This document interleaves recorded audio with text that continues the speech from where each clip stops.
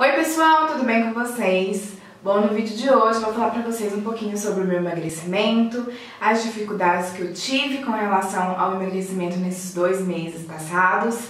E é isso, gente. Se você ainda não é inscrito no canal, já se inscreva pra fazer parte da nossa família que tá crescendo cada dia mais.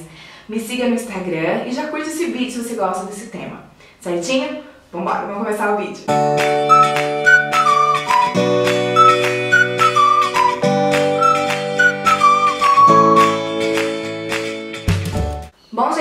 vocês sabem, eu estou num processo de emagrecimento e nesses dois meses passados, gente, eu tive bastante dificuldade de emagrecer. Por quê? Por culpa minha mesmo, somente minha, não foi culpa de ninguém. Porque eu não tava bem, eu não tava animada, eu não tava com vontade, eu não tava com desejo de emagrecer, sabe? Assim, quando você quer dar um tempo. Foi isso que aconteceu comigo.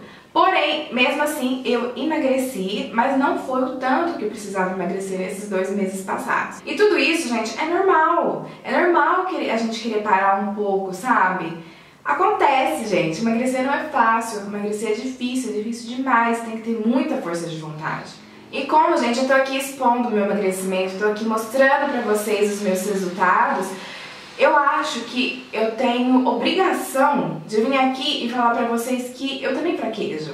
Eu não sou a pessoa mais perfeita do mundo, eu também fraquejo, eu também tenho os meus dias ruins, tenho os meus meses ruins, tem dia que eu quero jogar tudo pro ar, não quero saber de nada, não quero saber de, de cobrança, de mim mesma, de outras pessoas.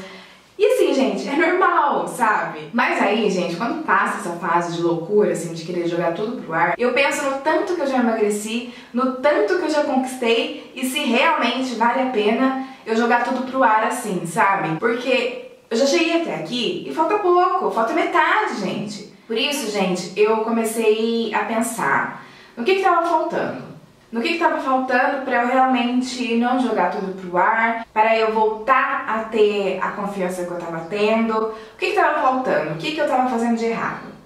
Então, assim, eu consegui visualizar duas coisas que eu estava fazendo errado. A primeira coisa era a alimentação. Eu deixava para fazer a minha alimentação no final do dia, mesmo que seja saudável, eu deixava para fazer assim na hora. Então, eu, o que, que eu fiz? Eu achei que eu precisava de uma programação com relação à alimentação. Então eu comecei a fazer as marmitinhas aqui em casa, as marmitinhas saudáveis. Eu tô pegando hoje um dia na semana e tô fazendo todas as marmitas da semana. Por quê? Eu já tenho as marmitas prontas, então eu faço de duas a três opções de marmitas pra semana. Então eu já pego no congelador, um dia antes de eu comer marmita eu já deixo embaixo na geladeira pra ir descongelando e quando eu for comer, só esquentar, já tenho o peso certinho, já tenho as quantidades certinhas que eu posso. Então, gente, eu achei que essa foi uma ideia muito boa que eu tive, de pegar um dia e fazer todas as marmitas da semana. Porque, além de me poupar tempo, eu como somente o que eu posso. E a outra coisa que eu percebi é que eu tava hum, meio que furando a academia, que é a parte do exercício físico, que é muito importante para o processo de emagrecimento. Eu, às vezes, deixava para ir no final da tarde e às vezes eu acabava enrolando ou arrumava algum compromisso nesse horário, então acabava não indo, acabava furando a academia. Então o que, que eu fiz? Eu coloquei uma meta de que eu vou na academia todos os dias de manhã, na parte da manhã, no primeiro horário que tiver, que é às 6 horas da manhã. Por quê? Eu já acordo, gente, às 5 e 10 da manhã. Então por que não já ir pra academia?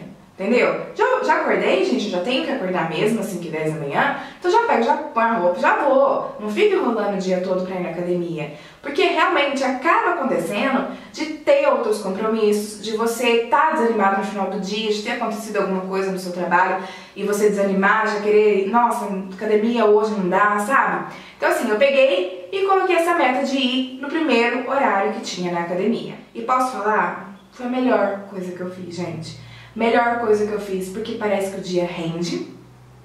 Você consegue fazer mais coisas, você já tá animado, você já tá no gás, assim, pra fazer as coisas, sabe? Então eu achei que foi uma opção muito boa que eu encontrei. E assim, se você não conseguir ir realmente no primeiro horário que tiver, de manhã por causa do seu serviço, por causa de alguma outra coisa, tudo bem, sabe? Eu tô falando o que deu certo pra mim. Mas se você se comprometer realmente a ir todos os dias, colocar a academia como principal, como parte do seu dia mesmo, tipo, obrigação sua de ir na academia na parte da tarde, beleza, sabe? Eu acho que tá super certo. Mas pra mim não tava dando. Então eu tive que encontrar um jeito de conseguir ir na academia para melhorar o meu emagrecimento também, sabe? E esse foi o jeito que eu encontrei e achei que tá dando muito certo, tá dando muito certo pra mim. E gente, o que, que eu quero falar com esse vídeo? O que, que eu quero mostrar pra vocês? Que todos nós temos altos e baixos, sabe? Mas o que a gente tem que parar e pensar é onde a gente já chegou. O que, que a gente já conquistou? Vale a pena eu parar agora, no meio do caminho? Porque eu não tô querendo seguir a dieta, porque eu não tô querendo me comprometer com o emagrecimento. Vale a pena? Pra mim falta pouco.